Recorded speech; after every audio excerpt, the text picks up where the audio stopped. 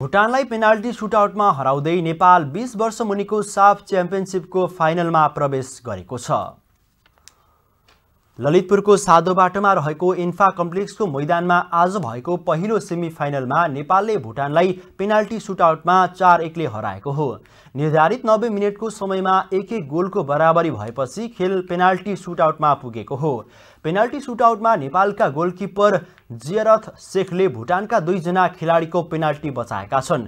यस्तै नेपालका राम थापा अविनाश स्याङतान सीमान्त थापा र जियारथ शेखले गोल गरेका हुन्।